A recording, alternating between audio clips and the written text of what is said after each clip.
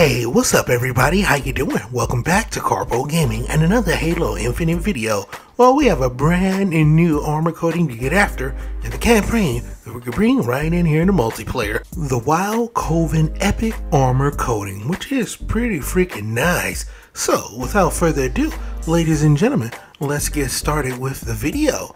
Now, of course, when it comes to the campaign and these armor lockers, well, you're going to have to first unlock yourself a base. This one is going to be the FOB Delta. Now, after you unlock the FOB Delta base, there's going to be three different locations that you can loot up on top of this uh, mountain. And uh, away we go. Here it is right here, the Wild Kovan MK7 armor coating. Adjust it all the way at the tip top of the mountain. Yeah, you got to do a little bit of parkour, but hey, that's no problem when you got a grapple and you Master Chief.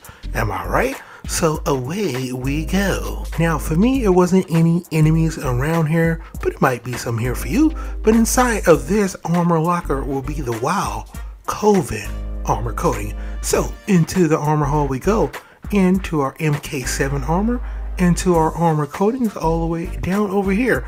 We the Wild Kovan, nice.